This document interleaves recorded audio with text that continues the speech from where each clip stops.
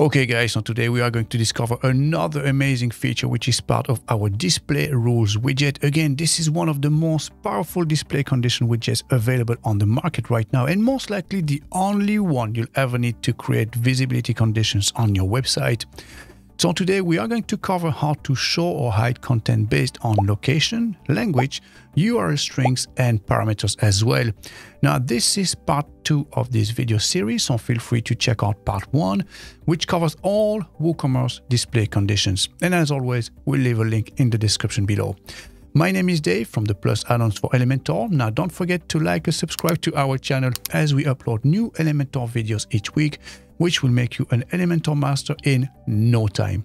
And also feel free to share this with all your Facebook communities and friends so that everyone can learn more about Elementor. Very good. So let's get started.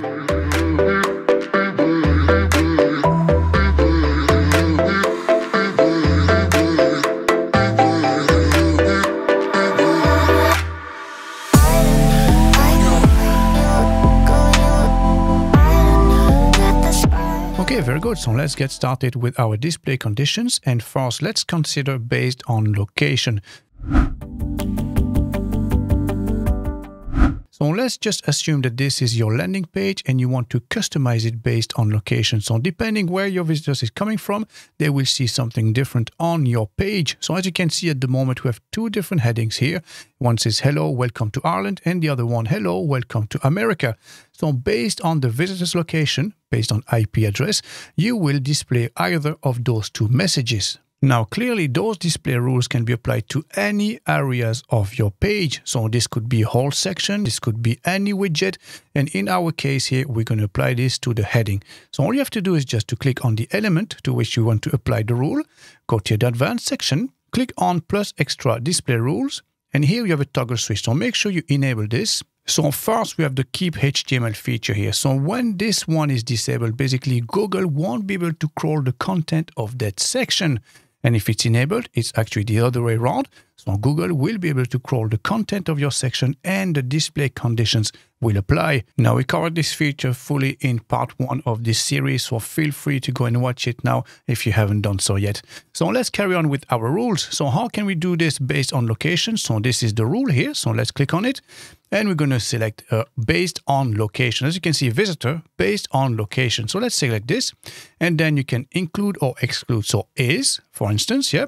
And we're going to select Ireland in this case, okay, because I'm based in Ireland. And then we do the same with the other heading, but this time we're going to set the location to America. So we go back to display rules here. We enable this and let's check our rule. And as you can see, it's based on location and this one is set to United States. And now we can put this to the test. So to test this feature, I installed a VPN here, which means that I can change the IP address and we can pretend to be from another country, basically, you know. So let's enable this and let's select our destination here. So let's say we were coming from the United States. So let's select this one. And now we can have a look at our page. So now if we have a quick preview, and there you go, as you can see, because we are accessing the website from an IP based in the United States, we only see this message here, hello, welcome to America. Now, if we were to disable this now altogether, so I disable this, and because I am based in Ireland, so if I refresh this now, as you can see, the message has changed. Now it says, hello, welcome to Ireland. Now let's discover our next feature, which is language based. So for this, I've made a few changes here. I added two different images just to show you it doesn't work just for text. It works for any type of content, obviously. So basically you have English and Spanish.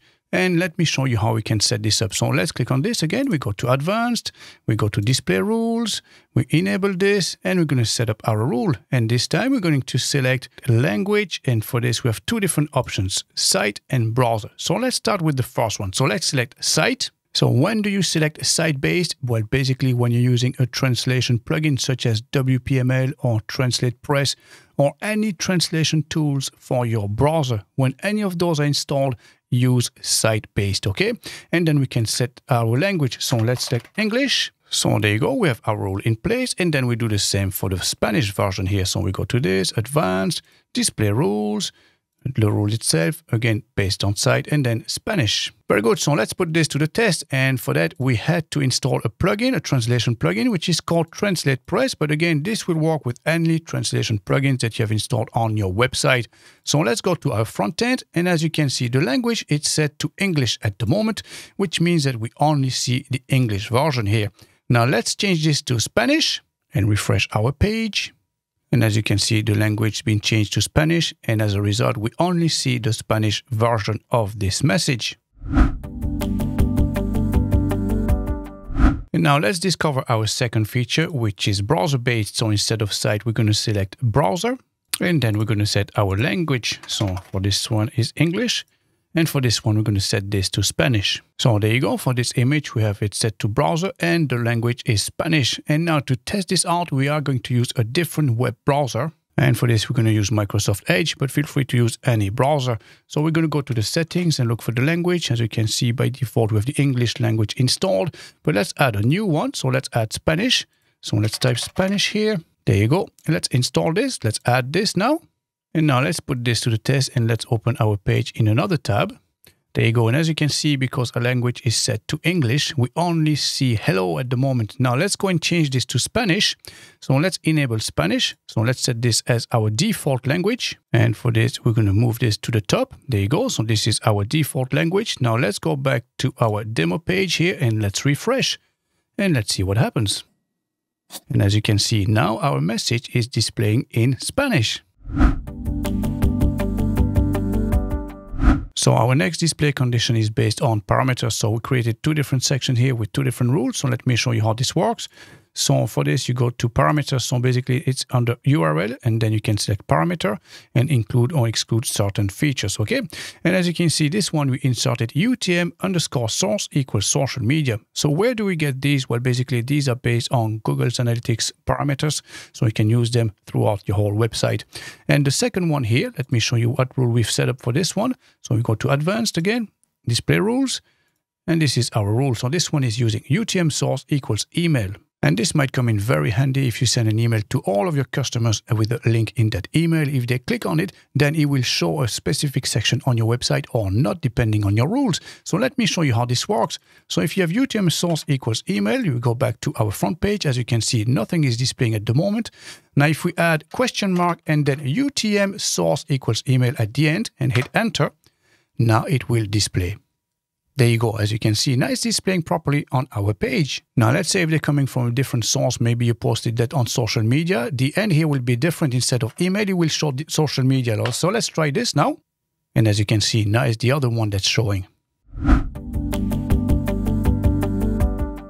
And now let's discover our last display condition, which is URL string based. So this method works best on templates that load on multiple pages. So for instance, a header or a footer section. Now let me show you how you can edit your header section and add maybe a button like this or a message that will only display on WooCommerce pages, okay? So as you can see here, we have a shop page and be after trailing slash, we have Woo listing page, which is the ID of our shop page. Okay, so how can we apply this rule now? So we go back to our WordPress dashboard and we are going to edit our header. So edit with Elementor. And then you can add any element in your header section. So this could be a message, it could be a heading, this could be a button like we have at the moment. And then you go into advanced, we go into display rules, and then we can add our rule. So in this case, again, this is URL string and then is or isn't, and then you're going to put the URL. So this is basically the page ID itself. So again, as you can see here, after the trailing slash Woo listing page, you're going to copy this here, okay? And now if we update, we have a quick preview in the front end. So let's have a look. Let's refresh our page. And because this is Woo listing page, obviously it will show up. Now, if we change the rule not to is not, okay, let's click update. And now let's go back to our front end and refresh once more. And there you go. As you can see, now it is not displaying anymore. But now we can apply the same rule just for product page, for instance. Okay, so let's click on this one here on a t-shirt. And as you can see, as part of our ID, we have product. Okay, so if we copy this and paste it here now, so the string is product. So let's update. And now let's put this to the test. So we go back to our front end, we open our shop page.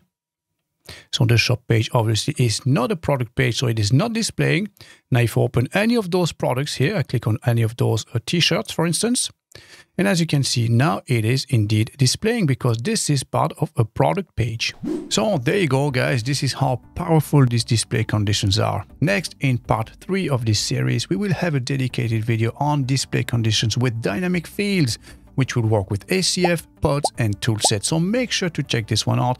And as always, we'll leave a link in the description below. Now we are open to your suggestions. And if your favorite feature is missing, then feel free to add it to our roadmap so that we can hear about your great ideas.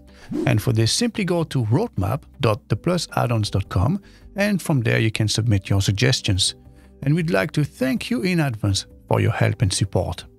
Again, if you liked and learned something new in this video, then feel free to share this with your friend in your Facebook communities and make sure to hit the like and subscribe button so that YouTube will know that you loved this video. Thanks for watching and we'll see you guys in the next video.